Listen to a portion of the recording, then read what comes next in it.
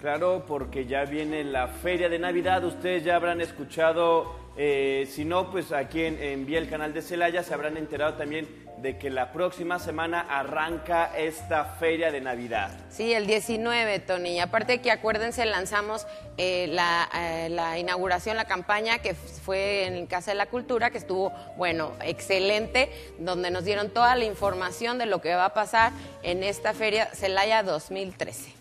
¿Y qué tal la cartelera, los artistas que van a venir de primer nivel? Yo estaba ayer escuchando a Edgardo Álvarez, a quien le mandamos un muy grande, eh, muy gran saludo, muy grande saludo. Estaba yo haciéndome a la princesa Urbina, le mandamos un gran saludo a Edgardo Álvarez. Estaba presentando que hay esta modalidad en la cual, bueno, el costo de la feria es de 35 pesos, Ajá. pero si tú quieres tu entrada preferencial, te cuesta 200 pesos, pero puedes eh, tener ese lugar para ir a, ver a los artistas que, va, que van a venir. Sí, claro, porque está abierto para todo el público con su entrada de 35 pesos eh, el tea- Teatro del Pueblo, pero va a haber lugares preferenciales que van a costar 200 pesos, así es que si usted quiere, bueno, estar como en los de enfrente, bueno, pues puede llevar con más tiempo y ya comprar su boleto especial preferente.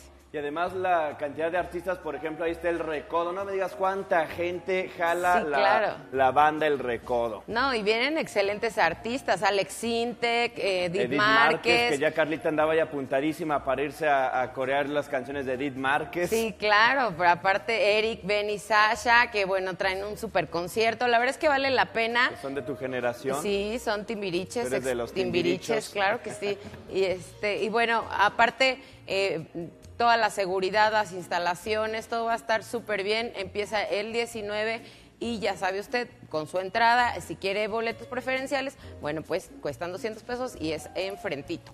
Y bueno, sepan que también vía el canal de Celaya y Tardes de Café van a estar ahí cubriendo los eventos, conociendo todo lo que se lleve a cabo en esta edición, una nueva edición que, bueno, yo desde que vi eh, los logos, lo elegante que estaban manejando, la verdad me gustó mucho. Y ahorita que tuvimos oportunidad de apreciar estas imágenes, pues pinta que va a ser una feria inolvidable. Usted ya lo sabe, acérquese y eh, lleve a los niños a los, este, a los juegos mecánicos para que anden ahí dando vueltas y tumbos, se la pasan muy, pero muy bien. Y no se pierdan tardes de café porque te vamos a tener más adelante información en los días subsecuentes para hablar de esta feria. Así es. Y aparte, bueno, no hay que perdonarla. Es nuestra feria de Celaya y solo es una vez al año.